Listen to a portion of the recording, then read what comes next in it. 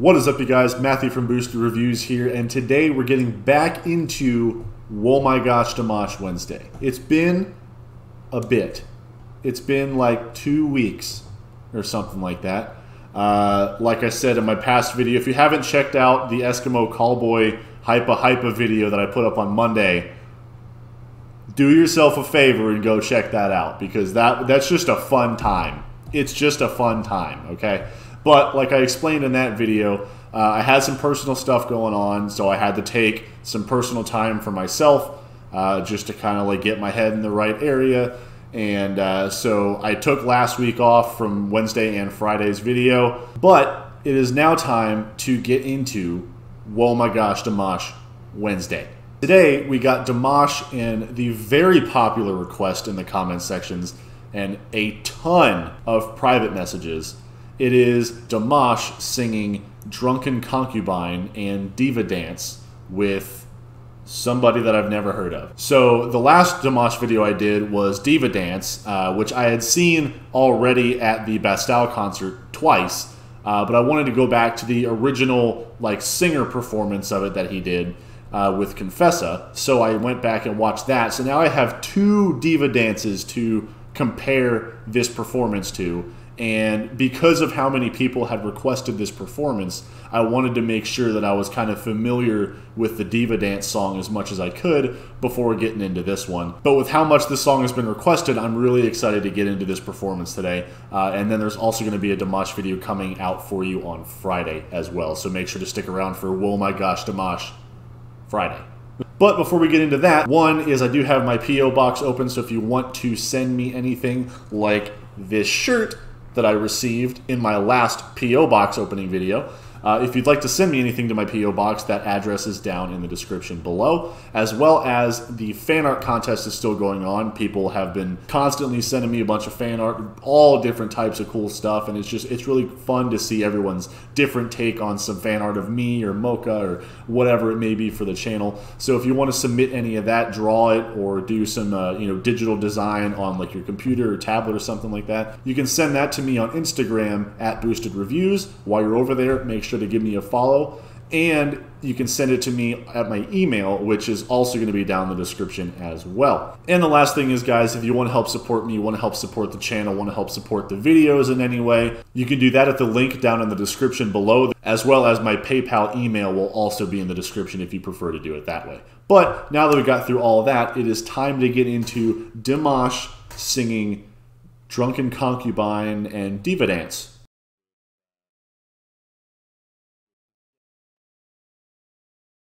All right. I already love the stage design.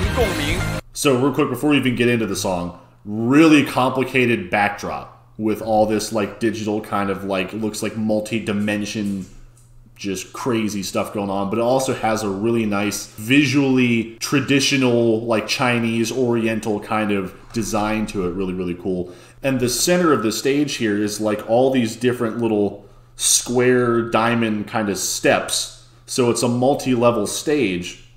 Uh, and it looks like the top of them is either really highly polished or it's mirrored. Looks really, really nice. Get some nice reflection. You'll probably get some nice light bounce uh, if there's lights shining down on them, reflecting off that surface. It'll probably look really nice. Really cool set design.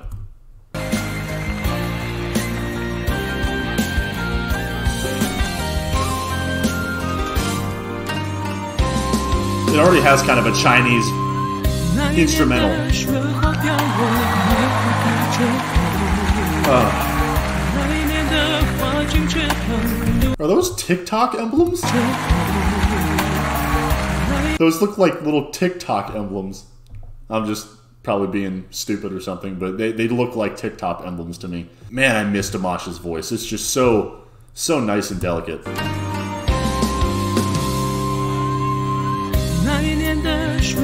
让我每天都折腾那一年的华清池旁留下太多愁不要说谁是谁非感情错与对只想来生一定与你一起再醉一回金雀钗玉搔头是你给我的礼你唱一 got a nice voice. 千门关是你对我深深的思念。 Matching registers with Dimash pretty well here. 爱魂断红颜。 So, real quick, before we get into the rest of this, I wanted to point out something here. First off, Greg, I know you're watching this. He's the moderator for my streams. If you guys aren't familiar with who Greg is, awesome dude. Uh, Greg, he actually bought me this chair for my birthday. Um, I'm sorry, I love the chair, but I think I'm gonna need one of these. Cause, uh, I mean, look at that chair, and then, like, I mean, no, all jokes aside, though, look at the chair difference here. A couple differences here. One is Dimash's is very vibrant, bright.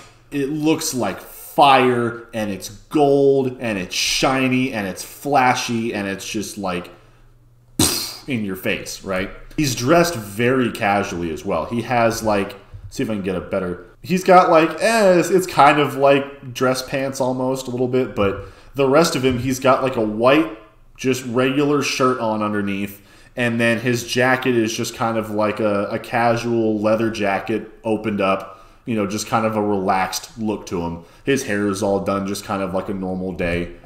But then if you go to this other guy, his chair very dark very soft curves it's it's very smooth and rounded versus Dimash's which is like flames and jagged and, and crazy and his even though it has those little sparkle nice kind of touch elements to it like those accent elements it's a very dark very royal looking traditional kind of just elegant vibe to this chair. And if you look at him, he's in like a much more traditional it looks a little bit more dressy, a little bit more up upper class, high scale, you know, kind of robe. I'm not really sure what they're exactly called, but he's in like this nice green, solid silk looking robe really just the, the stylistic differences here. He looks much more formal, and Dimash looks much more contemporary and more casual. And the, the differences in chairs are just very interesting as well. I just wanted to throw that out there. Really nice voice, though. Stop waving your TikTok emblem. That's probably not what that is at all. It wouldn't make any sense.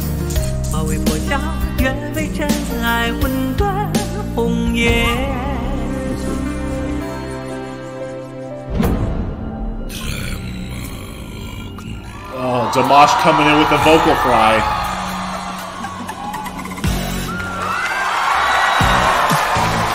Okay, so it was the first part Drunken Concubine, and now this is the Diva Dance.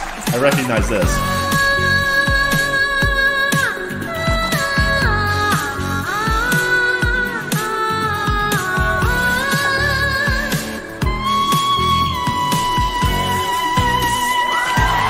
Surprisingly nice high note. There's our boy.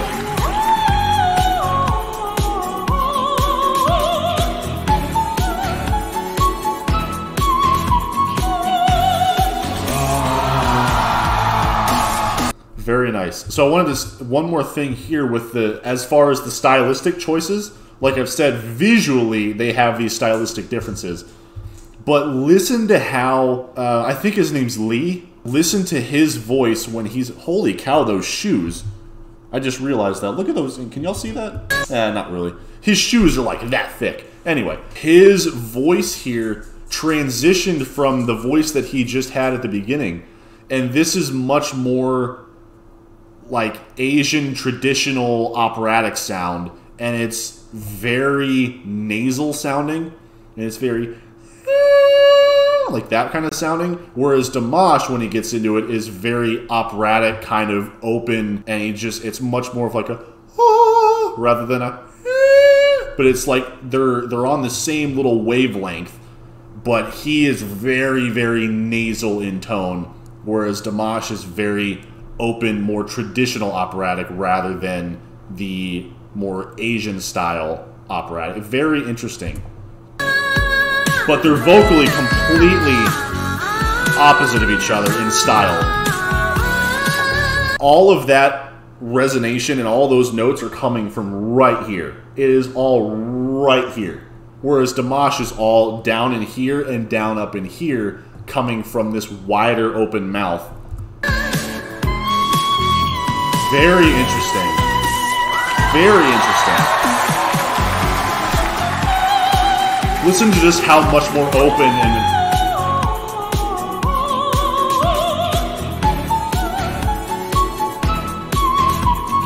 and the range is just so much more. The range is drastic.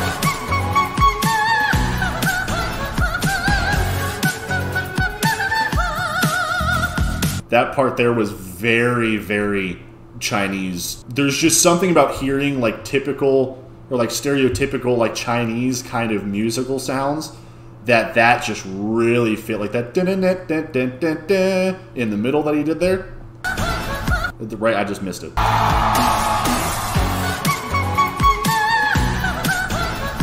That part.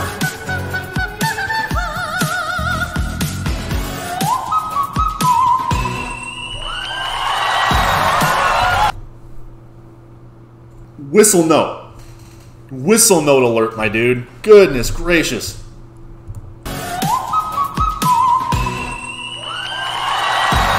That was not as that was not as high as the D8 in Unforgettable Day. I would probably put that on the seventh octave somewhere. But that was just that was so unexpected. Goodness, man.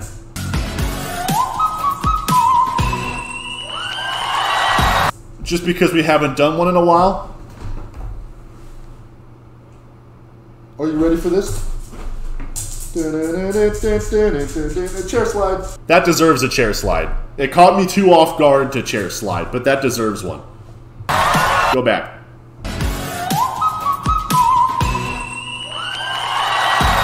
He's not even sweating.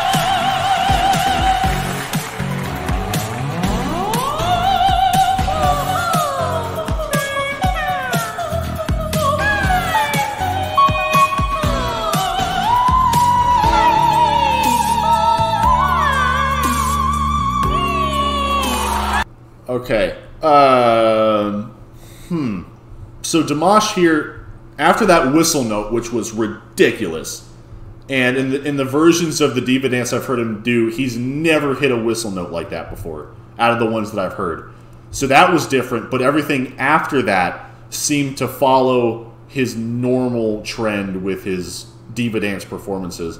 But then you add in Li's part.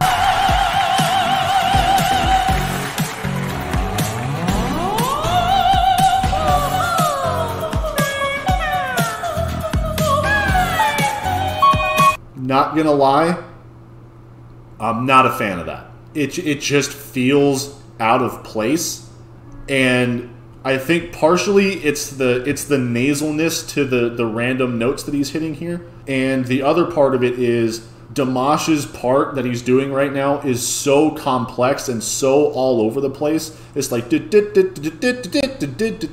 know the staccato everywhere, uh, and it's very very complex and very just distracting. Whereas Li's is very simple, just meh, meh, meh, meh, meh, and just very delicate, soft, simple notes. And the styles, again, two completely different styles, but here they clash. And I don't, I don't enjoy this particular part.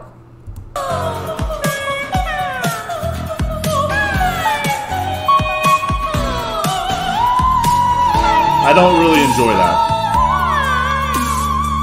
Interesting choice, though.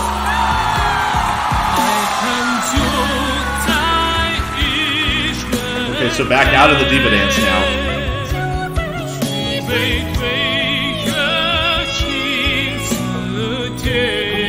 See, here it works because they're doing the same thing. He's doing that more nasal, still kind of, you know, simple, soft you know notes that he's holding here. I'm not sure if he's actually singing anything because I don't know Chinese, um, but he's singing at least some notes, and he's doing it very delicately, very soft. But Dimash has stopped doing his crazy staccato everywhere, busy vocal, and he's come down and joined him in this more softer, more delicate, you know, lyrics that he's doing now.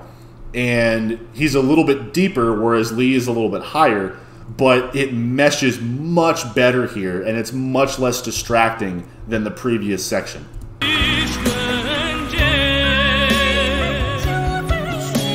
And he's they're kind of crossing they're kind of crossing as Dimash is taking breaths and Li starts singing, and then it kind of overlaps a little bit, but it feeds in in a way that feels natural. It's not just like on top of each other constantly. Sorry to keep pausing. I'm just trying to explain it a little bit more, just what's going through my head. I won't pause again. I won't pause again until the end. I really wanted to pause there because of her face. Sorry.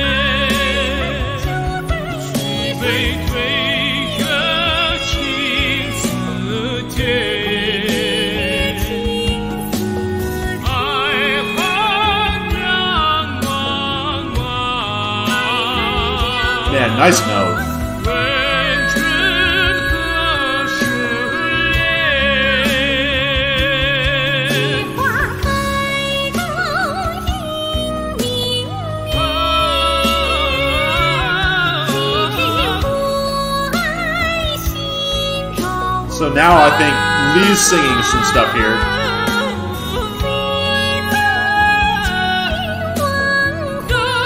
Dimash is just like freestyling.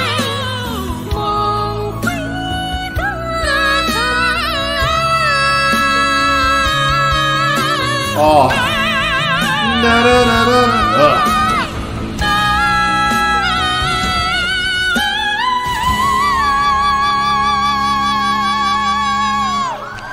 Was that a little bit of, I'm sorry. Uh, of course, I'm going to start over. Was that a little bit of strain that I heard on Dimash's voice there at the end?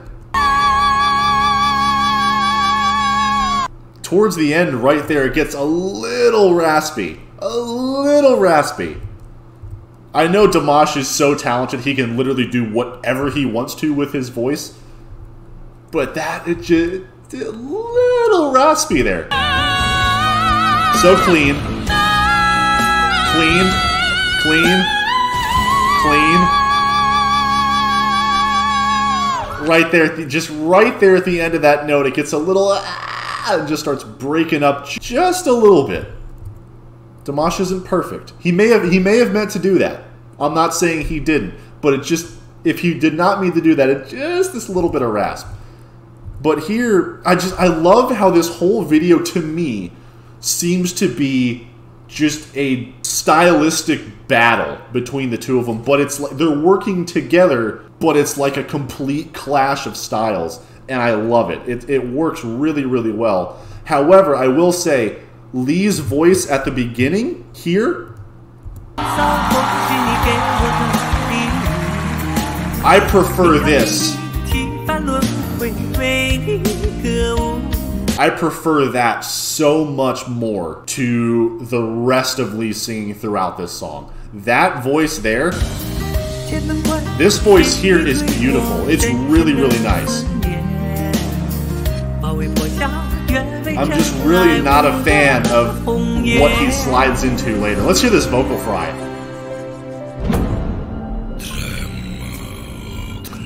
His is his is more breathy than mine. I actually get more vocal note out of mine.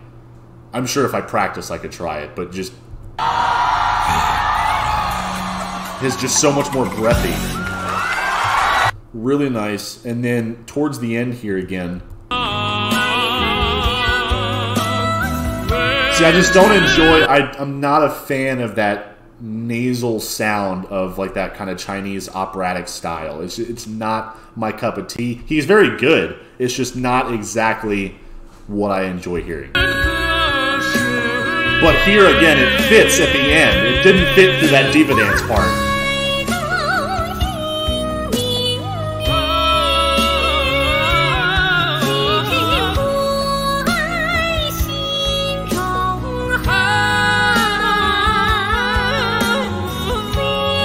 I love hearing Dimash just do this, his kind of just vocal freestyle backing supporting sounds that he just it just I love it.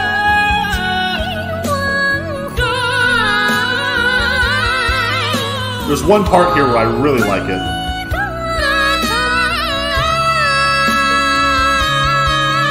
it. Is that part is na na na na na na na that oh, he does.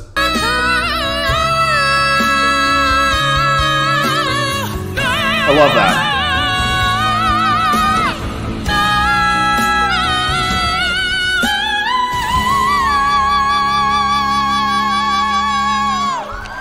And Dimash, has, he just has so much more power. Like the power, the range isn't even close.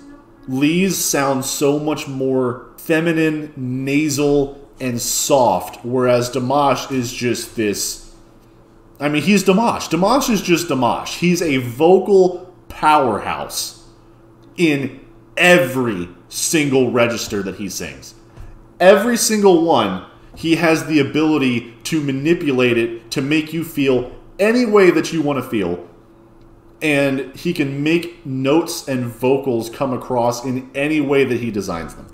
It, it just, he is a master. It, it, he's just a masterpiece. That was a really, really interesting take on the diva dance having it done as like a duet, like between two people. And then it was it was into like I'm not sure if, if the drunken concubine thing, if that's actually the song name or what or what it is. But they had that song like before the diva dance, and then they had that song after the diva dance.